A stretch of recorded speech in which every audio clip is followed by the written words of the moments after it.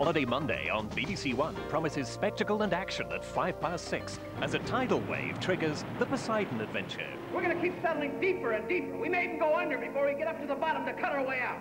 But it's something to try as a chance. We might make it. If you stay here, you'll certainly die. At 8 o'clock, Philip Schofield presents One of the most mysterious and beguiling visions known to man, the sexily wrinkled stockings of Nora Batty. In Side by Side at 8.30, Terry's been reporting back to Mum. So what'd you say about me? I told her you're about as friendly as a glue-sniffing Rottweiler.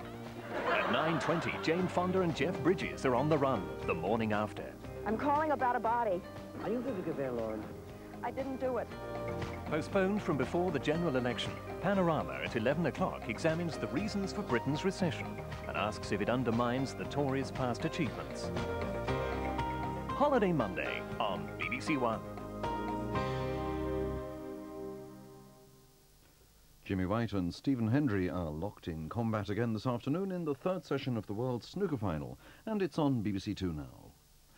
Here on BBC One, more from the big screen with Michael Caine, Stanley Baker and Jack Hawkins in a film from the mid-60s which has become something of a modern-day classic, Zulu.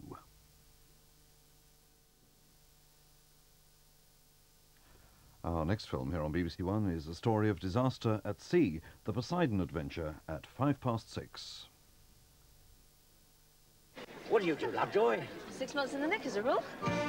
There's no doubt about it. If you can get into a mess, Lovejoy will. I want a divorce. You got one. Again. Niccolo Guarini, famous for his animal physiology.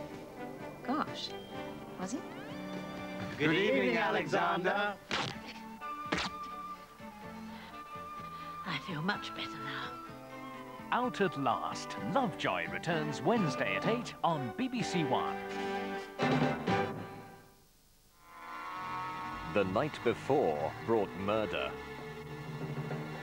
And the morning after, What happened last night? what did I do? who can she trust? If you were set up, there might be somebody you know.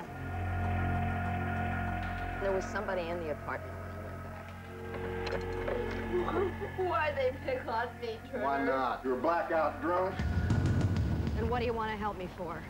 because you're innocent.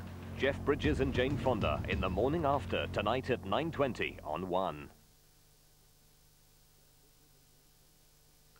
We'll be catching up with the latest de- developments in Ramsey Street in a quarter of an hour, just a little later than usual, at 5.40. Now it's 5.25, time for the news on BBC One with Moira Stewart.